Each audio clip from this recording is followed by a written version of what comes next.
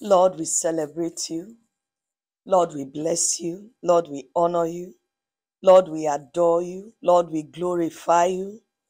There is no one like you, our shepherd. There is no one like you, our helper, our keeper, our defender, our provider, our promoter, our shield, our fortress, our hiding place, our pavilion, the rock that never fails, the solid rock on which we stand. The great lover of our soul, we lift up your name. The great I am that I am, El Shaddai, God Almighty. What a marvelous God you are. What a great God you are. What a good God you are. What a faithful God. Our God deserves the praise. Our God deserves the glory. Our God deserves the honor. Our God is worthy to be praised. Our God is good all the time. There is no one like him. There is no rock like him. There is no father like him. There is no husband like him. There is no brother like Jesus. What a mighty God. What a good God. What a great keeper. We give him all the glory. We celebrate his faithfulness forever and ever. Child of God, our God is good. Blessed be his name forever. What a mighty God we serve. Once again, I bring you good news in the name of Jesus Christ. Beloved child of God, we are epistles that men are reading. We are epistles that men are reading. And the example that we set, it goes a long way to affect people, both positively and negatively, child of God, for the kingdom. You are affecting someone positively or negatively for the kingdom, child of God. And it's important that, beloved, we look at this assignment that we are fulfilling on it and look at it very well because at the end of the day, God will call me to account. God will call you to account. In the course of our journey as children of the living God, we may fall in one way or the other. We may miss our way, we may make mistakes. But yes, if we fall and we make the mistake, what are the necessary steps that the master expects from me, that the master expects from you before we go back again to begin to minister to other people? That is what God is calling our attention to. That we need to be purified before going to serve again. We need to be purified.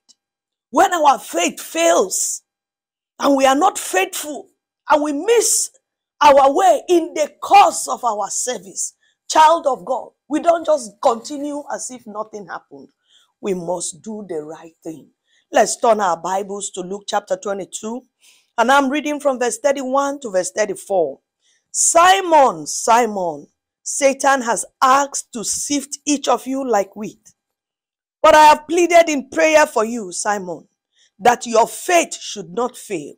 So when you have repented and turned to me again, strengthen your brothers. Peter said, Lord, I am ready to go to prison with you and even to die with you. But Jesus said, Peter, let me tell you something. Before the rooster crows tomorrow morning, you will deny three times that you even know me. This is the word of the living God. Child of God. One day, Jesus called Simon.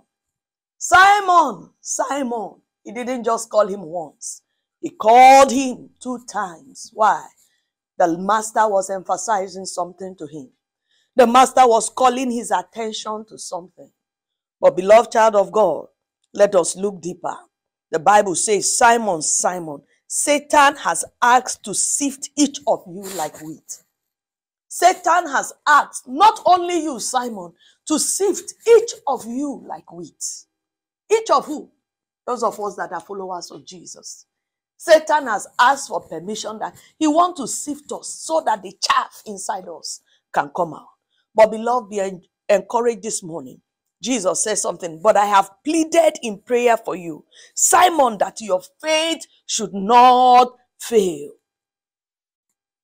That your faith should not fail. So when you have repented and turned to me again, strengthen your brothers. Jesus said, I have pleaded with you in prayer that your faith should not fail. But you can see that what the next statement that Jesus made shows that he already knew that Peter's faith will fail. And so what has he done? He has interceded ahead, but he gave Peter an instruction to follow. We are looking at it as number one. He says, when you have repented, when you have repented and turned to me again, strengthen your brothers. We have a duty to strengthen one another as the body of Christ. But you know, the process that we apply will determine, beloved, the kind of result that we get. Let's learn from the life of Peter and what Jesus told him. He said, number one, when you discover that you have failed, that you have missed your way, repent.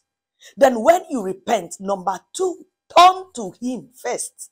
Then number three is what? Strengthen the brothers. That's the process, child of God. Let's look at Luke chapter 22, and I'm reading from verse 54 to verse 62. So they arrested him and led him to the high priest home. And Peter followed at a distance.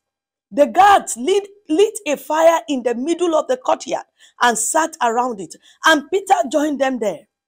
A servant girl noticed him in the firelight and began staring at him. Finally, she said, This man was one of Jesus' followers. But Peter denied it. Woman, he said, I don't even know him. After a while, someone else looked at him and said, You must be one of them. No, no, man, I'm not, Peter retorted. But an hour later, someone else insisted, This must be one of them because he is a Galilean too. But Peter said, Man, I don't know what you are talking about. And immediately, while he was still speaking, the rooster crowed. At that moment, the Lord turned and looked at Peter. Suddenly, the Lord's word flashed through Peter's mind before the rooster crows tomorrow morning, you will deny three times that you even know me. And Peter left the courtyard weeping bitterly. Child of God, Peter left weeping bitterly. Do you know why Peter was weeping bitterly? Because Jesus looked at him and he remembered that when the revelation of his disobedience came, he was too distracted to get the message. Look at verse 61. At the moment, at the moment the Lord turned and looked at Peter, suddenly the Lord's word flashed through Peter's mind. Before the rooster crows tomorrow morning, you will deny three times that you even know me. Child of God, the revelational light of God. The revelational light of God. God knows that as followers of Jesus Christ, we are targets to the enemy. Look at Peter. In one night, they were pointing fingers at him. They were pointing fingers at him. What does that tell us? That as followers of Jesus Christ, the enemy is looking for you. The enemy is looking for me. We are his targets. He's, we are the ones he's looking for. The Bible says that after they arrested Jesus that night and led him to the high priest home, you know, Peter was following in a distance. His heart, his passion, his love was after the master a true follower of Jesus Christ. But before then, God gave him a revelation. What was that revelation? Simon, Simon, Satan has asked to sift each of you like wheat. I have pleaded in prayer for you, Simon, that your faith should not fail. So when you have repented and turned to me again, strengthen your brothers. Peter said, Lord, I am ready to go to prison with you and even die with you. But Jesus said, Peter, let me tell you something. Before the rooster crows tomorrow morning, you will deny three times that you even know me. Peter, let me tell you something. Peter will not allow Jesus to talk. The one that sees the end from the beginning, most of the time comes to reveal the plans of the enemy to us even before he comes our way as believers. But many of us, we are too distracted in our zeal, in our knowledge of ourselves that we don't even pay attention to what the Holy Spirit is saying. And before we know it, we are falling. Before we know it, we are falling. Peter bitterly cried. Why? He ignored the revelational knowledge that God brought his way. He ignored it. He ignored it. Beloved, look at something in Amos chapter 3. Amos chapter 3. Let's go there. And I'm reading from verse 6 to verse 7. The Bible says, When the ram's horn blows a warning, shouldn't the people be alarmed? Does disaster come to a city unless the Lord has planned it? Indeed, the sovereign Lord never does anything until he reveals his plans to his servants, the prophets. Child of God, did you read that, that passage? Did you read that passage? It says, when the ram's horn blows a warning, warning, shouldn't the people be alarmed? When God is warning us, danger, danger, danger, are we getting the warning? God is faithful. He knows the end from the beginning. And so, as his followers, he comes to reveal things to us. He came to reveal to Peter what was about to happen in Peter's life. But Peter was not sensitive. Peter was not sensitive. And so the word of God clearly tells us that when the ram's horn blows a warning, shouldn't the people be alarmed? That was the warning that the ram's horn was blowing to Peter. But Peter was not sensitive. Child of God, the Bible says, indeed, the sovereign Lord never does anything until he reveals his plan to his servants, the prophet. God is always revealing things to us. What are we doing with it? God is always warning us ahead. Beloved, many of us as children of God, we are in one pit of problem or the other. Things that God earlier warned us about. We the pit he showed us, this is what is before you. Don't fall. Many of us were in that pit. Many of us were in that pit. Why? Because we neglected his warning. And so, as beloved followers, child of God, the shepherd of our soul cares so much for us. That's why he's always giving us revelations. That's why he's always showing us danger. That's why he's always revealing the plans of the enemy to us so that we can receive direction from him, so that we can be wise not to fall in. Beloved, many of us have fallen in. But the good news is that the Lord wants us to know that he has stood on the gap for us. He has paid the price that will set us free. He has paid the price that will set us free. Now, like Peter, he wants us not to just stop at the stage of repentance, stage one. He wants us to go to stage two and go to stage three in order to properly close the door against the enemy. What is the stage two? Beloved, let's go back to it again. The Bible says in Luke chapter 22, verse 32, But I have pleaded in prayer for you, Simon, that your faith should not fail. So when you have repented and turned to me again, strengthen your brothers. The stage two, after repenting of our sin, is for us to turn to God. Turn to God before you go strengthen your brothers. Receive strength for yourself, first of all. Before you go and minister to others, child of God, you can't give what you don't have. Look at it in Malachi chapter, chapter 3. Let's go to Malachi chapter 3 and see something fast. You know, the word of God tells Peter that when you have repented, turn to and you have turned to me. They go together. Repentance, then turning to the Father. What does it mean for us to turn to the Father?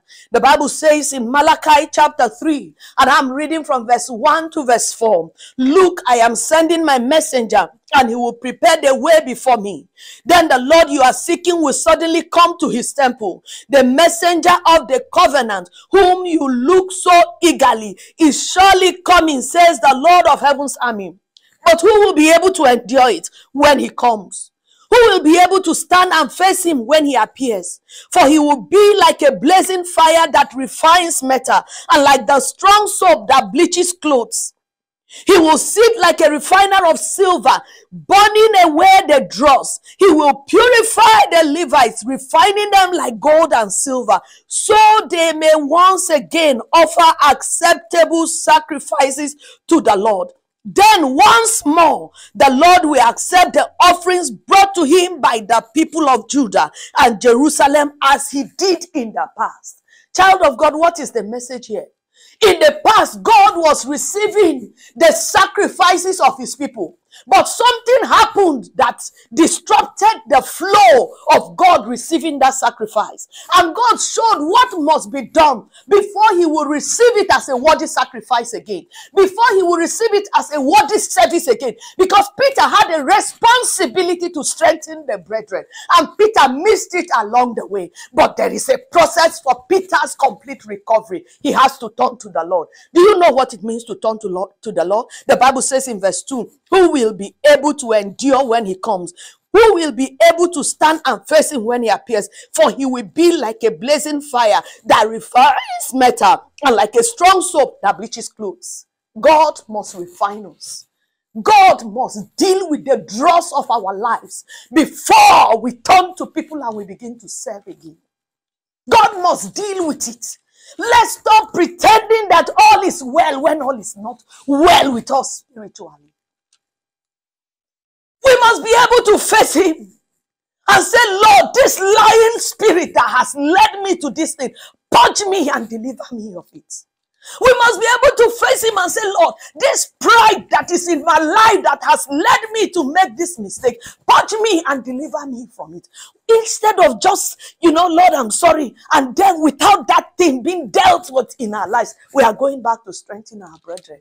Jesus told Peter, he said, after you have returned, after you have repented and turned to me, and turned to me, said, then strengthen your brother. Then strengthen your brothers. We must allow God to deal with those things that make us fall. We must allow God. If our journey will continue with Him and we will hear well done at the end, child of God, the refiner's fire must work in our lives. The launderer's soap must sit down to wash away, to bleach the dross of our lives. Do you know what it means to bleach a cloth? Do you know what that means? That when you are wearing a white cloth and it's stained, and you try to wash it, wash it is not going out. You apply a stronger force. That bleach bleaches it off. God has bleach to deal with the dross of our lives. He has bleach. And so it doesn't matter. It doesn't matter. It matters a lot before God. Beloved child of God. Because he said, I will, he will sit as a refiner's the refiner of silver, burning away the dross. He will purify the Levites, refining them like gold and silver, so they may once again offer acceptable sacrifices to the Lord. Child of God is not every sacrifice that is acceptable before the Lord. It's not all. There is what is called an acceptable sacrifice. And for us to be able to deliver that acceptable sacrifice, we must face the launderer's soap. We must face the refiner's fire. Why? To deal with the dross of our lives. He says very clear in his word, Malachi chapter 3. Then once more, the Lord will accept the offerings brought to him by the people of Judah. The Lord will now accept the, the offering that we bring to him the Bible says, and Jerusalem, as he did in the past. That means he was accepting it in the past. Something happened. Then he has to deal with that situation before our sacrifice is acceptable before the Lord. You may be wondering why. We want to know why. Let's look at why from Mark chapter 12. Mark chapter 12, beloved.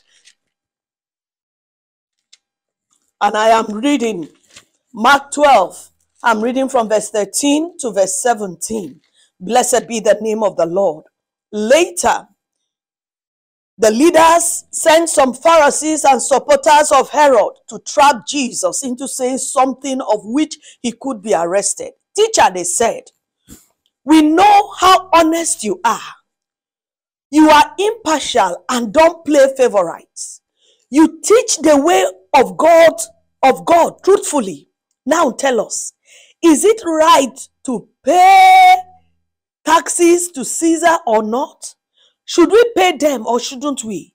Jesus saw through their hypocrisy and said, Why are you trying to trap me?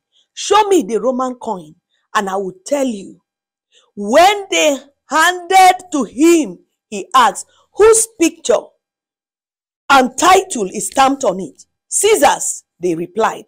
Well, then, Jesus said, Give to Caesar what belongs to Caesar and give to God what belongs to God. His reply completely amazed them. Child of God, there is a message for us in this scripture that the owner of the image is the owner of the coin. The owner of rebellion is the owner of the coin. Child of God, if our life is in rebellion, the owner of rebellion is the owner of our lives. If our life is bearing the fruits that is contrary to the will of God, the owner of those fruits is the owner of the person. That's the final judgment. That at the end of it, God will pick you as a coin and pick me as a coin and look at the image inside. And the owner of the image will be the owner of the coin. Remember when they came to Jesus, they said, We know you are honest. We know that you don't play favorites. That is God. God is honest. God does not play favorite. So he will look at it. He's a righteous judge. Is this mine or is this the devil's own? Child of God, God cannot use our rebellion for his glory. Rebellion glorifies Satan. And so, if we must obey God, if we must do the will of God, if we must go back to the service of God, child of God, He must cleanse us first of all. That's why He said, after you have repented from the devil, from what you have done, He said, turn to God first, then go and strengthen your brothers. That's the process.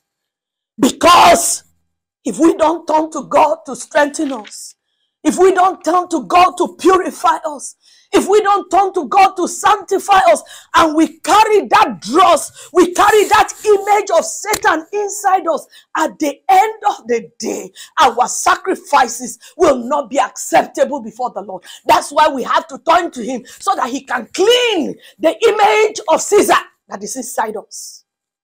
So that He can cleanse us, so that He can purify us. Beloved, let us understand it better looking at the example that we have, Genesis chapter 16.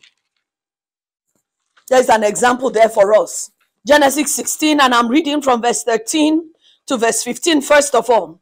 Therefore, Hagar used another name to refer to the Lord who has spoken to her. She said, You are the God who sees me.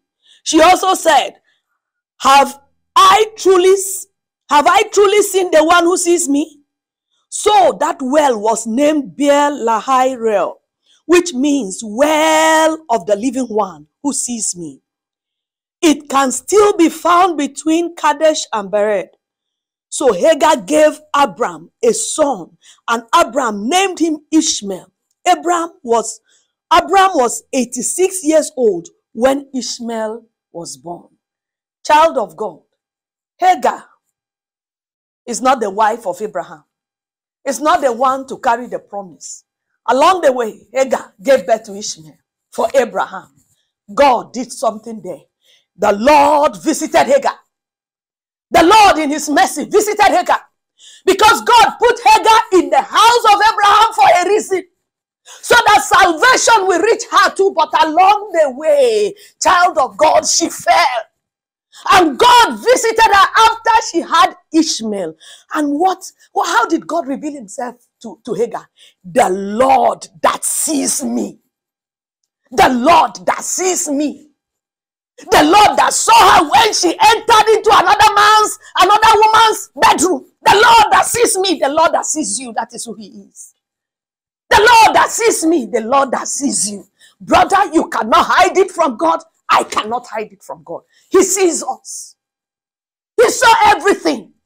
When Abraham went and got Ishmael, 86 years old.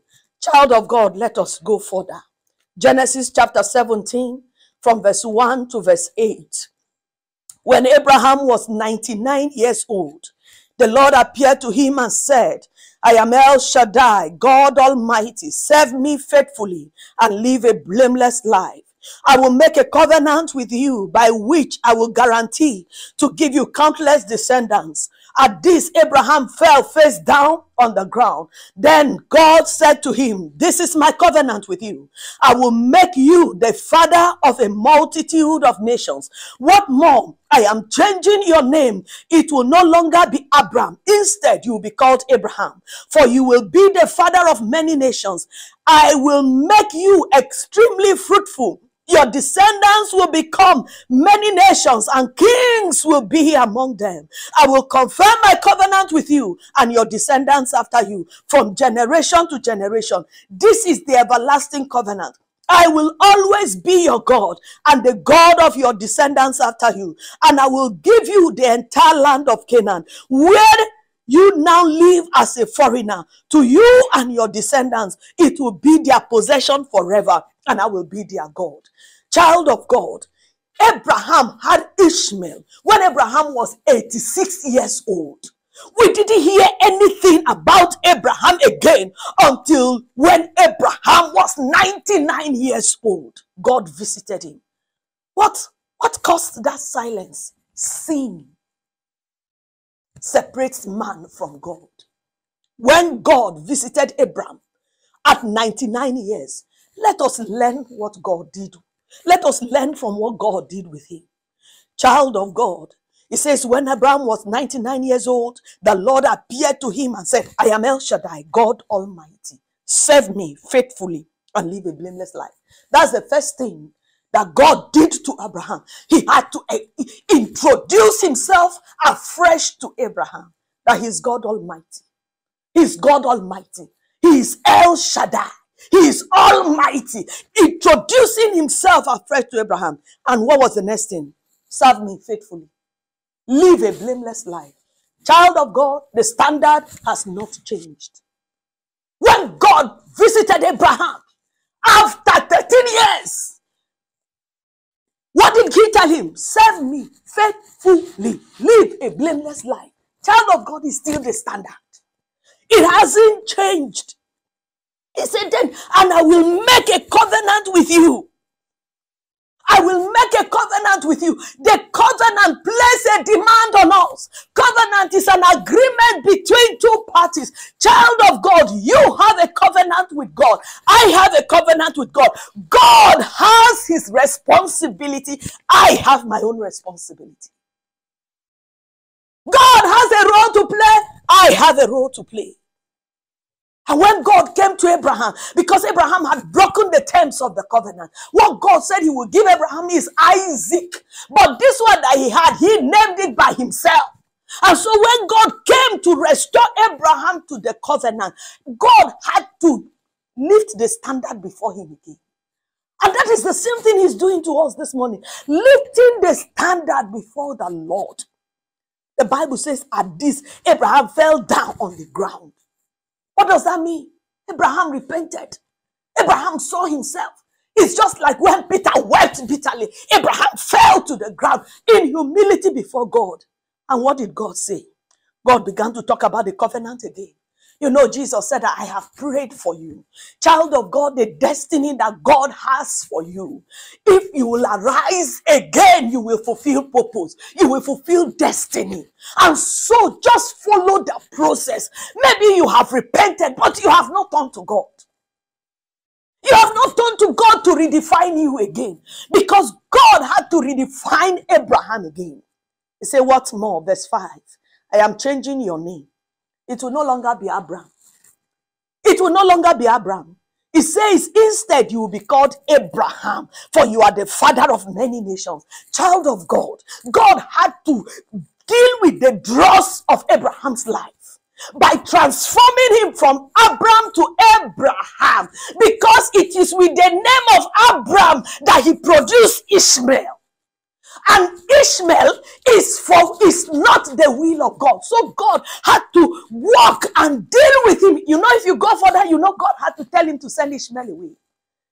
God had to rename him again for him to fulfill the covenant. God was dealing with the dross of his life so that he can offer to God an acceptable offering. It's the same process. Let's go further, verse 9. Then God said to Abraham, Your responsibility is to obey the terms of the covenant. You and all your descendants have this continual responsibility. We have a continual responsibility. So don't say it's Old Testament. He said, This is the covenant that you and your descendants must keep. Each male among you must be circumcised. You must cut off the flesh of your foreskin as a sign of the covenant between me and you. From generation to generation, every male child must be circumcised on the eighth day after his birth. This applies not only to members of your family, but also to the servants born in your household and to the foreign born servants whom you have purchased. All must be circumcised. Your bodies will bear the mark of my everlasting covenant. Any male who fails to be circumcised will be cut off from the covenant family for breaking the covenant. Child of God, let us get it right. The Bible says very clear that a child, every male child born, must be circumcised on the eighth day. What does that mean? When we come into Christ, what happens to us? We are now born again. But God expects that after being born again, on the eighth day, you have to be circumcised. You know what circumcision means?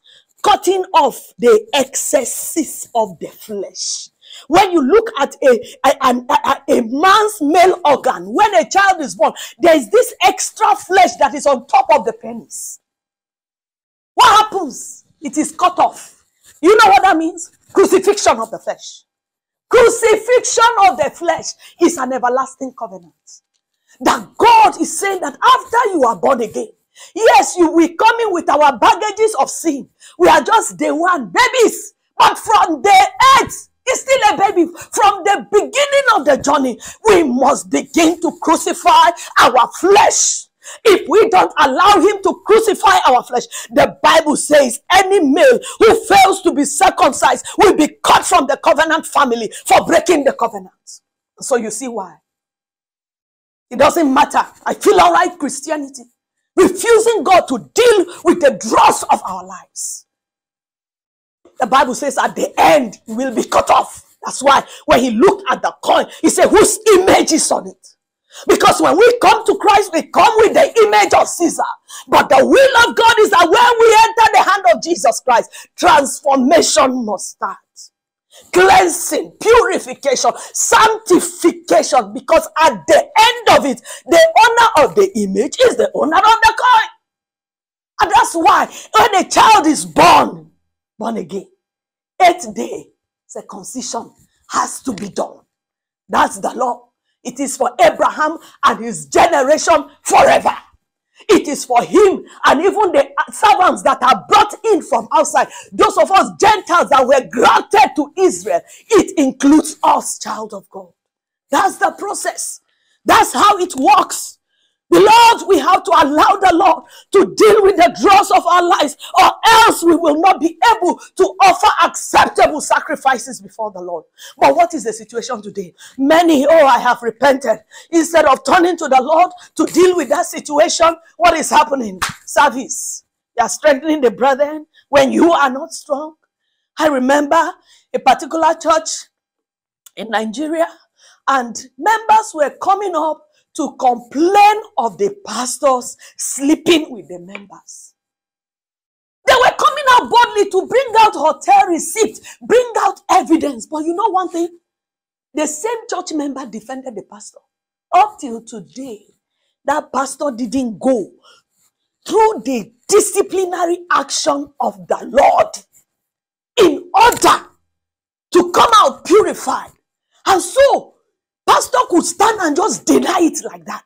When sister A, sister B, media, everybody is talking about it. Pastor is standing there saying, No, he didn't do it. Meanwhile, the evidences are on ground. Members are the first people to defend the pastor. Do you know what you are doing by doing that? You are not allowing God to crucify the flesh of that pastor before going to strengthen the brother, brethren. And because he is not strong, the same immorality is swallowing the church members.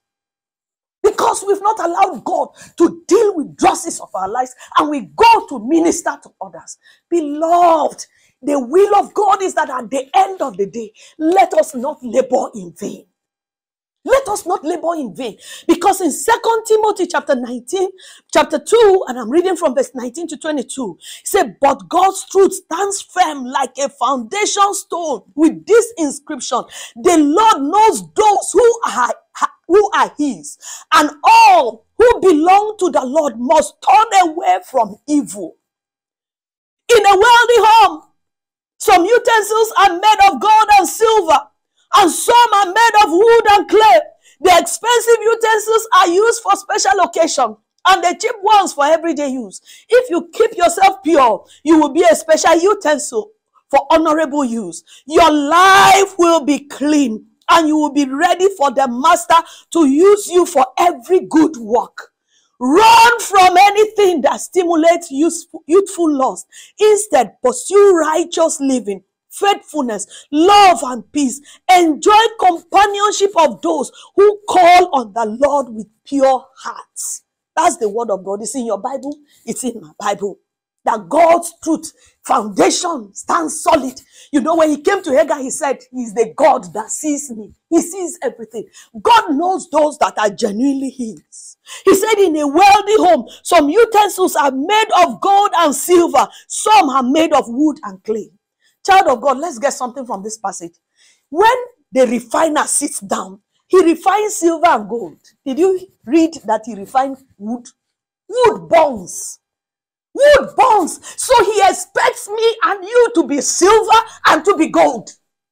When we don't allow him to refine us, we remain as wood, we remain as clay, even though we are still in the master's house. At the end of the day, he will separate the wheat from the chaff. Said, let all of them grow together. Harvest time, he will make a difference. And so don't think that oh, because I am I am doing this for the Lord, I am doing this for the Lord. He, he will look at it and overrule because I am I am serving. Child of God, it's not every service that is acceptable to the Lord. The one that is acceptable to the Lord, the Bible says that if you keep yourself pure, you will be a special utensil for honorable use. Your life will be clean and you will be ready for the Master to use you for every good work. There is a good work, and God will use the clean vessel for good work for good work. That's why he's saying, Turn to me first before you go and turn to the people. Turn to me first. When we miss our way, we should turn to the Lord first. We should turn to the Lord first instead of turning to ministry first. Let us allow Him to deal with the dross of our lives so that we'll be gold, so that we'll be silver. But many of us are like wood. So many of us are like wood. And the same wood want to go and sharpen iron. It doesn't work like that. Wood will only enter fire and born. That's why the Bible says we should run from anything that stimulates youthful lust. Instead, pursue righteous living, faithfulness, love, peace. Enjoy the companionship of those who call on the Lord with pure hearts. Many of us are calling on the Lord. But what is the condition of our heart? Is it with a pure heart? The standard has changed. When he met Abraham, he said, Live a blameless life. He said, Walk before me, serve me faithfully. Here also he's saying, Run from anything that stimulates youthful lust. Instead, pursue righteousness, faithfulness, love, and peace. These are the things that we should pursue. And he says that we should enjoy fellowship with those who call God from a pure heart. Now look at our fellowships today. Can we all say we are calling God from a pure heart? Child of God, you don't know the answer. I don't know the answer, we may say. But God Almighty knows the answer. Because once upon a time, Samuel visited the house of Jesse. a house of a believer, seven sons. God knew each of them. He knew each of, he knew every heart. God knows you. God knows me. God knows your heart. God knows my heart. God knows the intention of your heart. God knows the intention of my heart. And God will deal with us according to the intentions of our heart. The oil fell on the pure hearts. But what happened? Well, they were all in the army. They were fighting God's army. But you see how Goliath was intimidating them. It was the one with a pure heart that could bring down Goliath. And so, child of God, it doesn't matter, it doesn't matter. Christianity is killing us. Let us wake up. But look at something again. Look at it again. Why we must take this very seriously. Malachi chapter 4, and I'm reading. The Lord of heaven's army says, The day of judgment is coming burning like a furnace. On that day, the arrogant and the wicked will be burned up like straw and they will be consumed, roots, branches, and all. But for you who fear my name, the Sun of Righteousness will rise with healings in his wings, and you will go free, leaping with joy like calves let out of pasture. On the day when I act, you will tread upon the wicked as if they were dust under your feet, says the Lord of heaven's army. Remember to obey the law of Moses, my servant, all the decrees and regulations that I gave him on Mount Sinai for all Israel. Look, I am sending you, the prophet Elijah, before the great and dreadful day of the Lord arise. His preaching will turn the hearts of fathers to their children and the hearts of children to their fathers. Otherwise, I will come and strike the land with a curse. Child of God, the Lord of heaven's army says the day of judgment is coming and it will come like a furnace. He said, On that day, the arrogant and the wicked will be burned up like straw. They will be consumed from their roots, branches, and all. The day of judgment is coming whereby God will judge wickedness, God will judge arrogance, God will judge pride, God will judge haughty eyes, God will judge carnality, God will judge immorality, and everything that comes with it. The roots, the branches will be consumed consumed by fire. That is what God is saying. But the Bible says, But for you who fear my name, you who fear my name, you who fear my name, you, who fear El Shaddai, God Almighty, he says, the Sun of Righteousness will rise up with healings in his wings. If you fear God, your will is that you will allow God to deal with the dross of your life. And when you fear God and you allow Him, what happens? He arises in righteousness to bring healings to the dross of our lives so that He will sanctify us, so that He will purify us, so that we can offer unto Him an acceptable offering. He has to do that in our lives. He has to do that in our lives. He says, On that day, the wicked will be under our feet. He will judge wickedness, child of God. What did he say in verse 4? Remember to obey the law of Moses, my servant. Child of God, these are the last verses of the Old Testament. In case you are saying that that is Old Testament law, these are the last passages that close the Old Testament. Yet God is calling you, God is calling me to remember to obey the laws of Moses. And so don't say it's old, I am born again, and that is the end of it. Child of God, you are that born, newborn baby that after eight days must be sac- must be must, must, must be circumcised in Abraham's house. Child of God, he said, remember to obey the laws of Moses, my servant. All the decrees and regulations that I gave him, all the decrees, God gives decrees and God gives regulation. When a decree is given, there is no negotiation. Obey before command, soldier of Christ. Obey before command. When God gives his decree, obey is a law. It's a law, child of God. That before you enter a foreign land, you need a visa of that country. Without a visa, you cannot enter. That is a decree, it's a law. It doesn't matter whether your passport, you did it and it's missing. They don't want to hear stories. All they want is that present it before you enter. It's the same thing. God has laws. God has decrees. God has command. Some things he can allow us to reason with him. The Bible says that in the word of a king there is power. Who can say, What meanest thou? Who can question his majesty? The Lord has spoken. You don't have anything to say after he has spoken. And so, beloved, the one that created the eyes, he want to use what you are seeing to explain to him. Beloved, let us wake up. He said, Remember to obey the law of Moses. And so let us walk in obedience. Verse 5 of Malachi chapter 4. Look, I'm sending the prophet Elijah before the great and dreadful day of the Lord arrives. His preaching will turn the hearts of fathers to their children and the hearts of children to their fathers.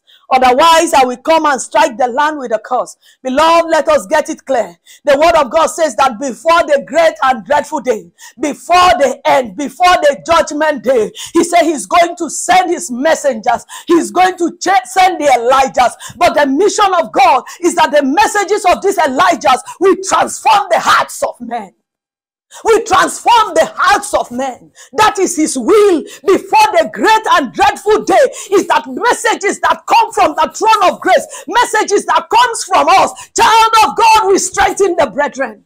That's why he's saying, repent, turn to me, then strengthen your brothers. If we must give strength to our brothers, we must turn to the Lord for him to deal with the dross of our lives. Child of God, look at what the Lord says. He said, or else I will come and strike the land with a curse. What is happening to our land today? Many messages in the name of Jesus is everywhere. But look at the curse. Look at the cause. The messages are not transforming lives. That's why the church is has, is in a state, the Laodicean church. Men, messages in the past, messages in the past. When message comes up, people are weeping in repentance. But what do we hear in our time? Preacher and pastor tell them, right on. The messages no longer have the power to break the hearts of fathers and break the hearts of children. Why? He didn't turn to God. He didn't turn to God. He only ran after the brethren. And because of that, brethren are not getting strengthened. Child of God, let us look at something in closing. True repentance is what made Peter to fulfill a glorious destiny. True repentance. Yes, it helped Peter a lot. Now, now let us look, look at Acts. I'm reading Acts of the Apostles, chapter 2, and I'm reading from verse 40 to verse 41 in closing. Then Peter continued preaching for a long time, strongly urging all his listeners, save yourself from this crooked generation. Those who believed what Peter said were baptized and added to the church that day, about 3,000 in all. What happened to Peter? When Peter repented genuinely and turned to the Lord, Peter could now strengthen the brethren. Peter could now strengthen the brethren. That among the disciples, Peter was able to stand. The same Peter that was timid, the same Peter that was afraid, encountered Jesus. When Jesus came to him in John chapter 21, and he said, Peter, take care of my sheep. Peter, take care of my lamb. Peter, if you love me, feed my sheep. God restored Peter, and you can see that because he turned to the Lord, one day he stood and he declared the everlasting gospel. And at one moment, 3,000 were added because the Holy Spirit backed him up, because he allowed the refiner's fire to deal with the dross of his life. And so, child of God, yes, we miss it. God understands we have missed it, but there is a procedure that we have to follow in order to offer unto God sacrifices that are acceptable unto Him. It is a command, it is a decree that you must turn to the Lord after repenting. It is His will that child of God, we don't just turn at repentance, but allow Him to deal with the dross of the, our lives before we go and strengthen the brethren. Because, beloved, you cannot give what you don't have, and you cannot force the hand of the living God. Blessed be the name of the Lord.